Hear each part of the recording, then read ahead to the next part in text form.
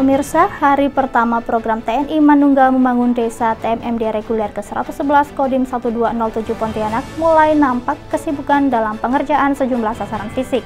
Sebagai Danton Koordinator TMMD ke-111 Kodim 1207 Pontianak, Kapten ARM Tri Yuliantoro memberikan arahan dan memimpin kegiatan lapangan di Dusun Mekarjaya, Desa Kuala Mandor B, Kecamatan Kuala Mandor B, Kabupaten Kuburaya. Berikut liputannya.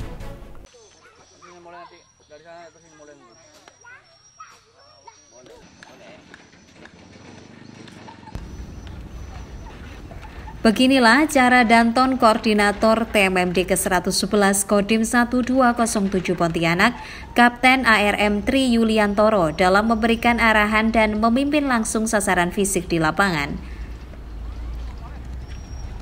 Sejumlah satgas dan warga memperhatikan dengan seksama arahan yang diberikan. Tak hanya itu, Danton Koordinator TMMD ke-111 Kodim 1207 Pontianak juga turun langsung untuk membantu menyelesaikan tugas di lapangan. Jajaran Kodim 1207 Pontianak melaksanakan program TMMD ke-111 di Desa Kuala Mandor B.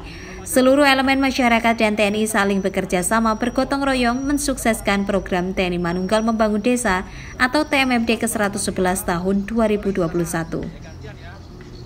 Program TMMD ke-111 Kodim 1207 Pontianak merupakan program TNI Angkatan Darat yang dilaksanakan setiap tahunnya memiliki tujuan untuk membantu kesulitan rakyat baik dalam bentuk fisik atau infrastruktur maupun non-fisik, bakti sosial sehingga terjalin komunikasi yang baik serta kemanunggalan TNI dan rakyat.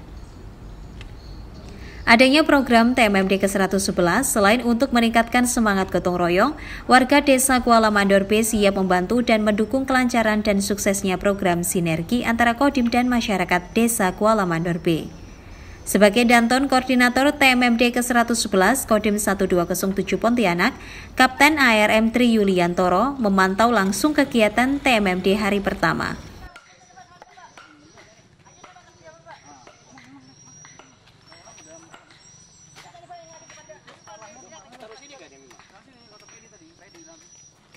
Saya Kapten Armet Tri Yuliantoro sebagai Kanton Koordinator TMMD reguler yang ke-111 di Dusun Mekarjaya, Desa Kalamandor B, Kecamatan Kalamandor B.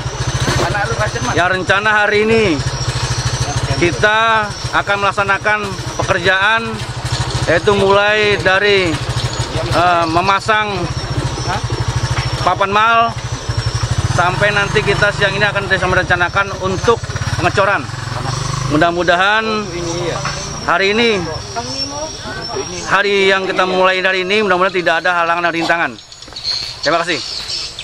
Kegiatan ini dilakukan agar ada yang mengatur kegiatan dan bisa memantau jika ada kesalahan dalam bekerja yang menghambat pekerjaan. Tim Liputan melaporkan.